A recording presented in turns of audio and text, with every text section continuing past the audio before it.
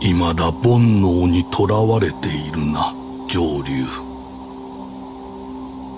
恐れ入ります。あなたは自ら名を捨て存在を捨てた身。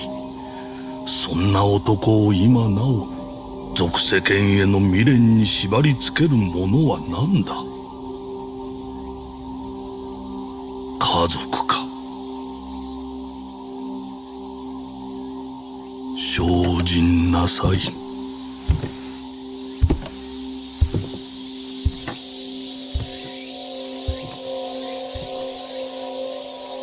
いるんだろ？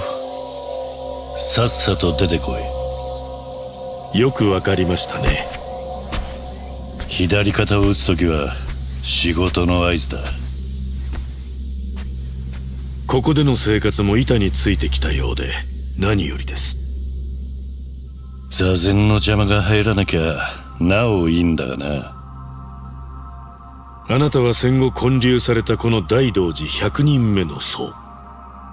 もう少し成熟してほしいものですが。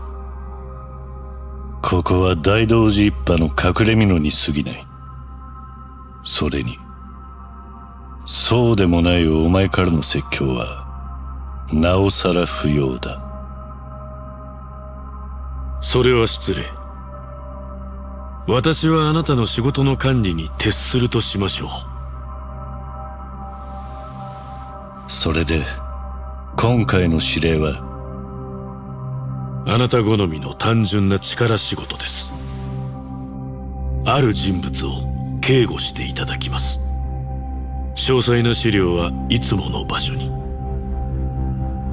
頼みましたよ。コードネーム上流。